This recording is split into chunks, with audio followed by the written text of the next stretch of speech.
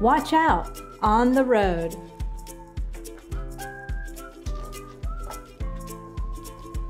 We all use roads from time to time when we're out on our bikes, catching a bus, or driving in the car. There are all kinds of vehicles on the roads trucks, taxis, police cars, and vans. All this traffic makes the roads very busy. Cars, trucks, and vans are powerful machines. They are fast and very heavy. Look what happens when they hit something.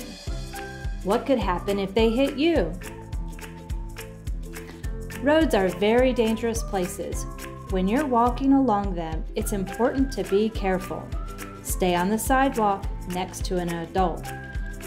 What could happen if you ran ahead?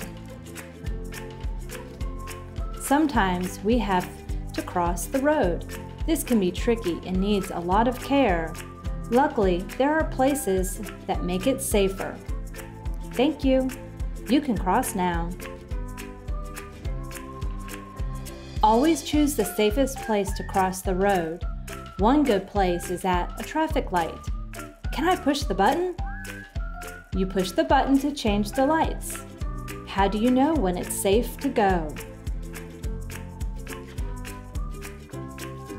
A crosswalk is another good place to cross a street. Crosswalks don't have buttons or lights. Line up nicely. You wait on the sidewalk until the traffic stops. This may take a moment or two. Cars need time to slow down and stop. How do you know when it's safe to go? Come on, children. Sometimes you need to cross the road and there are no special crossings.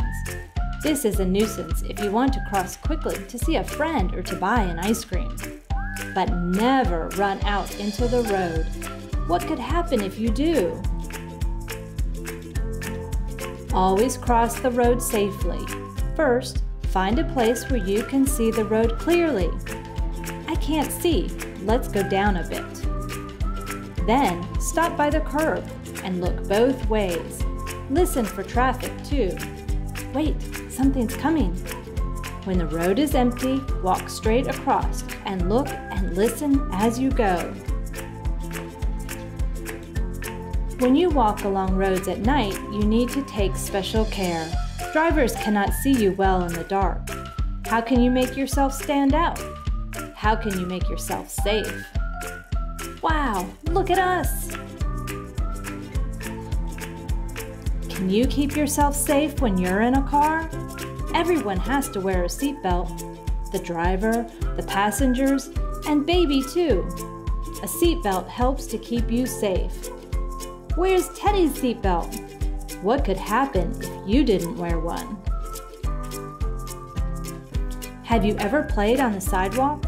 Playing outside is a lot of fun, but what could happen if you slipped off the curb or chased a ball into the road? Roads are not the best places to play. Can you think of somewhere safer?